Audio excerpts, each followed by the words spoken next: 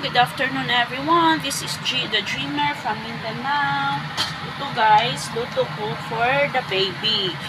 Di, dito sa Hong Kong guys, iba talagang pagkain ni baby. May rice din si baby kasi kumakain na siya guys, 1 year and 9 months na.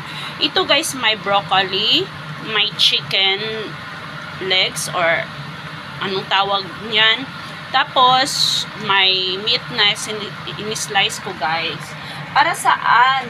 Yung chicken, hawak-hawakan lang yan ni baby while uh, kumakain siya. Tapos, itong broccoli, need talaga yan ng green leafy vegetable every pakain ko ni baby. Yung kamates for her skin. So, ito guys, tandaan mo, steam lang to guys.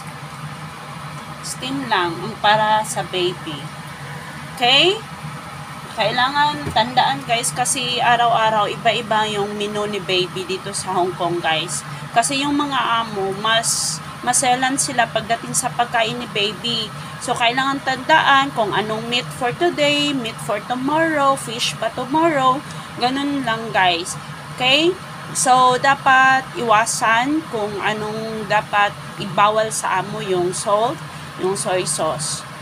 Guys, ganito ang buhay dito, kunyang dapat ma alam mo yung strength and weakness ni amo.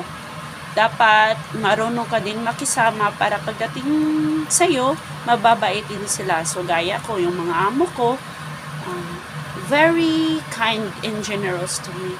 That's all, guys.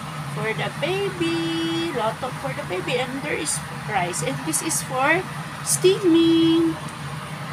Bye!